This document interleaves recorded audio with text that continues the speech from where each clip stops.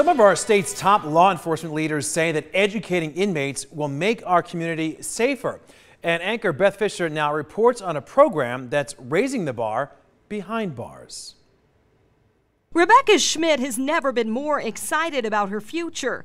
She's taking classes at the College of Southern Nevada in construction management and apprenticing with Labor Union 872. She's also finishing up a prison sentence. I've made mistakes, but I know that I deserve a better life. You should know a few things about Rebecca. She says she was sexually abused as a young girl, bounced around from foster home to foster home, and spent her first night in jail at the age of 15. I'm like really, really, really good at messing up.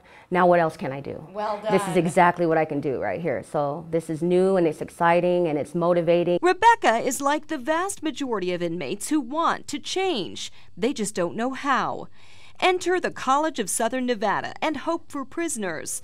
They're teaming up to bring an education to inmates so that when they get out, they're employable. If you talk to employers, uh, one of the challenges employers have right now is getting skilled uh, workers and, and a skilled workforce.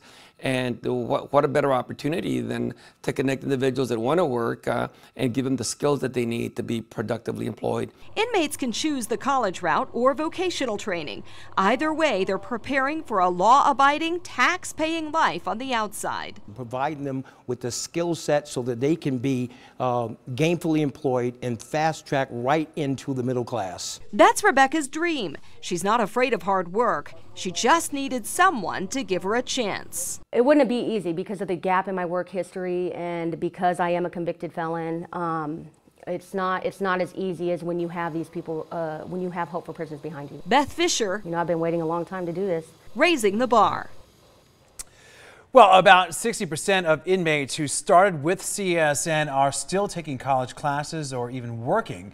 Uh, well, CSN's president says the program is doing so well that WGU Nevada and also Truckee Meadows plan to also start offering classes to inmates. And we need your help in raising the bar.